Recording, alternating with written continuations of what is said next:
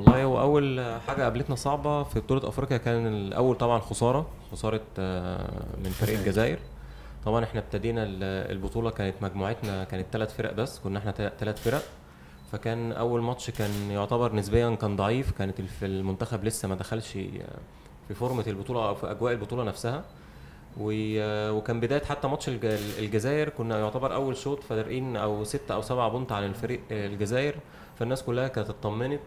فاللي حصل غير كده الجزائر شد حلو تاني ودخل في الماتش.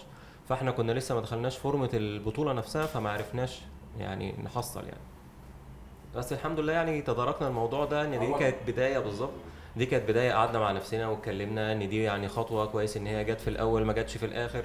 ممكن يكون الماتش ده كابتن هو مفتاح إن إحنا كسبنا البطوله ده ده أكيد طبعا ده أكيد. هي بالظبط يعني الخسارة اللي حصلت آه، أول خسارة حصلت لتونس طلعتها بره من دور الثمانيه فإحنا قلنا الحمد لله إن هي جت في المجموعة على أساس إحنا إيه يعني تدارك الموضوع من من بدري وده اللي حصل الحمد لله. خدناها واحدة واحدة.